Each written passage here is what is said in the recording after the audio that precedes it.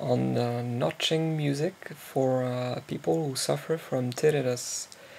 And uh, this particular uh, tutorial is for Macintosh and it's uh, real-time notching. So every single sound on your computer that will be played will be notched using the, the technique we'll, we'll be using. So um, notched music is um, a it's a kind of a treatment for uh, tinnitus. It's um, it's uh, a technique where you you take out some frequencies from sounds, especially music, or uh, other broadband noise like white noise or rain no noise, and uh, it's supposed to uh, to help people with tinnitus, and uh, it's kind of a long treatment, so you should be using this uh, notched music or notched noise for around six months or up to 12 months to see uh, any um, any result. So um, for this tutorial we'll be using Soundflower which is um, an, an, open source uh, free tool and we'll also be using GarageBand which is uh, in every Macintosh. It's a standard tool that's made by Apple. So uh, you just have to Google up uh, Soundflower and click on the first uh, website which is on Google Code. Next we'll be downloading uh, the latest version. So I guess everyone knows uh, how to install uh, software on their computer. So once this is installed, you have to go to System Preferences, then to Sound Preferences, and in the output section of the preferences you must choose Soundflower uh, 2 channel. Uh, it's, uh, so the 2 channel uh, output we'll be using. And then you can close the window. And next you will have to launch GarageBand. If you don't have a GarageBand on your computer it's in uh, iLife CD that's uh, supposed to be shipped with your your Macintosh. And if you don't have any have it in your dock you will find it in using the Finder and then in applications. And then you go to GarageBand So we'll be launching a new project in GarageBand. You can choose piano if you if you have this version. Then you go on to, uh, to choosing a location for uh, the project. So we'll be uh, using music, for example, and we'll be uh, naming it Notched Tutorial. This section here is useless in this kind of project.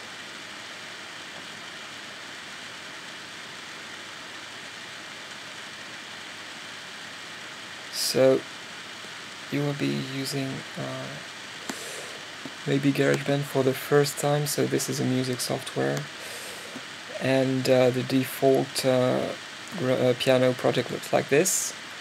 Uh, you have this part here, which is a piano track that we don't need. So we can go up to track and delete track.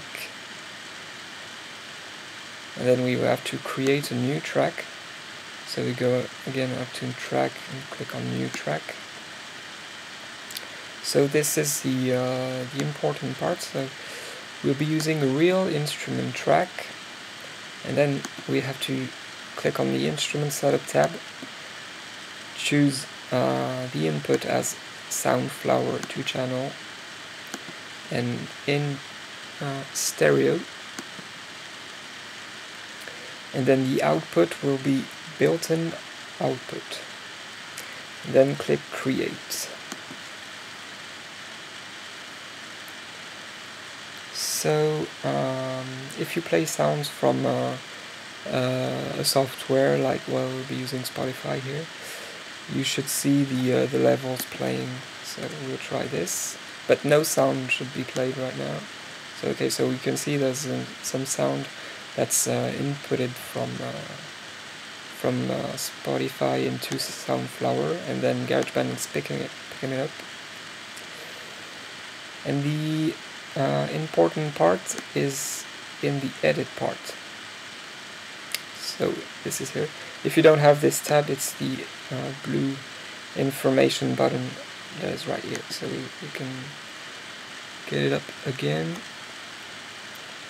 And then the effect we'll be using, it's uh, called AU Parametric Equalizer. and then you can click on this uh, icon here to have the um, the options panel of this plugin. So here we are. So the the the, um, the principle of Notch Music is to uh, to reduce the frequencies, uh, uh, which is corresponding to the sound of your tinnitus. So if you um, if your uh, tinnitus is tonal, you can you, you can hear that it's a constant sound. It's uh, um, it has a kind of um, uh, steady quality to it. And then to find the pitch, uh, you can use uh, the website uh, audionotch.com, and in the um, the tune section of the website, which is in the in the footer. Oh, we can see it here. Uh, I should try and bring this up. Okay, so this is a tune, the tuner. Um, on this tool, you you have this slider here that uh, will help you match your uh, the tone of your tinnitus. It can be uh, it can be a bit difficult it can take around I don't know maybe maybe a few hours to be really sure about the, the tone of your tinnitus. So I guess mine is around 705,000 hertz. And then you will have to go uh, into GarageBand and then um, notch this uh, uh, this frequency with frequency with the parametric equal equalizer. So you you have to use this uh, round circle here and then uh, go down uh, to the maximum and then in the frequency you, you can see the frequency moving here. And then you try to get as close as possible to uh, to the tone. And the best thing is to um, to narrow the band of the of the notch. So you have to click on the the borders of the of the of the, the notch here. So you can see you can narrow or wide, widen the notch. So let's use the, the narrowest notch possible. And then once this is done go, you can go back to browse. And here you have to click monitor monitor and select on with without feedback protection. So if we play some music here it should should output from uh, from our speakers. So you can hear this music playing and this music is notched uh, in real time uh, by uh, by GarageBand. One important thing to uh, to know is that you have to have um, some wide band uh, kind of sound coming out from from your computer for this to be the most effective. The most effective is white noise or rain noise, and uh, to to and some kind of music can have quite a wide band. Uh, so if you you have to to um, to check what frequencies are um, are used the most. I'll stop this for a minute.